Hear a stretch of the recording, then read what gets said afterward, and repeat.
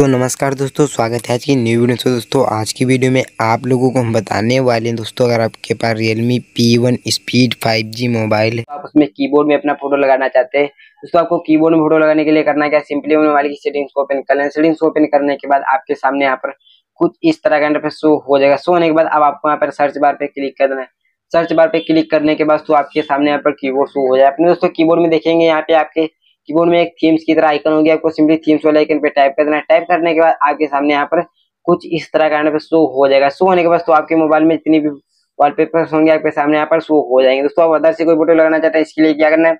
आपको यहाँ पर ऑप्शन देखने को मिलेगा प्लस का आइकन आपको सिंपली प्लस वाले आइकन पर टाइप कर देना है। टाइप करने के बाद आपके सामने यहाँ पर कुछ इस तरह का इंटरफेस शो हो जाएगा। शो होने के बाद तो यहाँ से जो फ़ोटो आप लगाना चाहते हैं, यहाँ से आपको सेलेक्ट कर लेना है।